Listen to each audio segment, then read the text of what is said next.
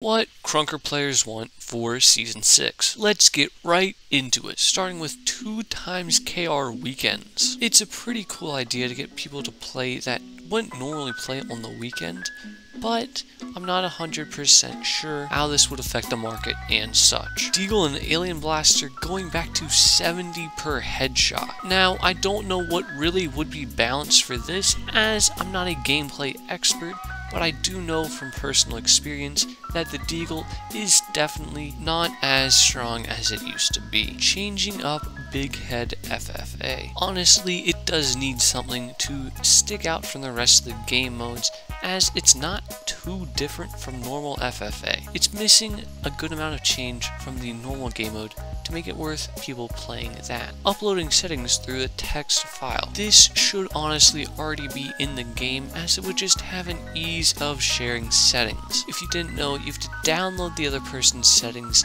upload it, download it onto your computer, open it up, copy and paste into Krunker. And that's a lot of unnecessary steps that just aren't needed. Boat kicking in raids. I'm kind of surprised this isn't already in the game, as you can have people trolling or sabotaging the team during a raid event, and you should be able to kick them. The title idea I got from Zomballer, so go check out his video. Let me know what you want for Krunker Season 6 in the comments down below. Only 18.1% of you guys are subscribed, and if I hit 1,500 subscribers before December 20th, then I have to buy a Christmas rubber duck. So make sure to hit that subscribe button down below.